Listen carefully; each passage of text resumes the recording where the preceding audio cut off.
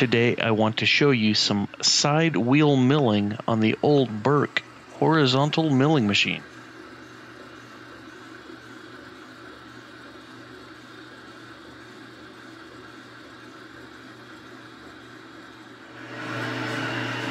That's the part we're making. And uh, we're just doing the little bevels.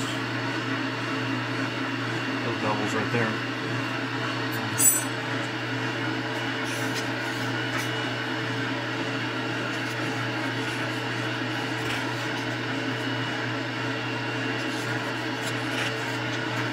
So, and, uh, in this case, 75 degrees.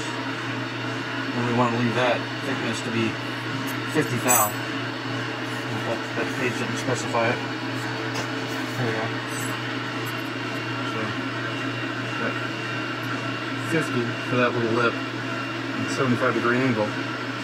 That's why we have it set up in the middle like that. See the last page. Very similar. So this one will be a slightly different angle, 65 degrees, again 50 thou. So let's use a different angle setting on the vise and do the same process. Notice that I have three separate pieces clamped in the vise right now. The corrugated paper helps equalize the pressure from the vise jaws, and the parts are sitting on a parallel.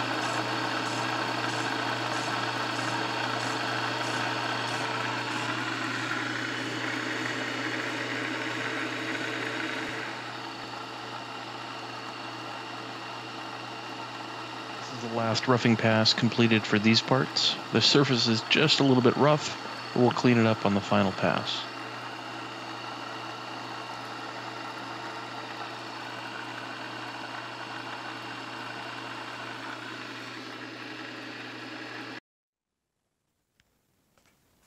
This will be the uh, final pass. We're just taking uh, 10 thou skim cut on the bevel.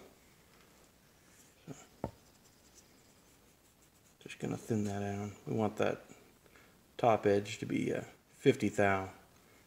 This is not that critical of a cut, but so we got.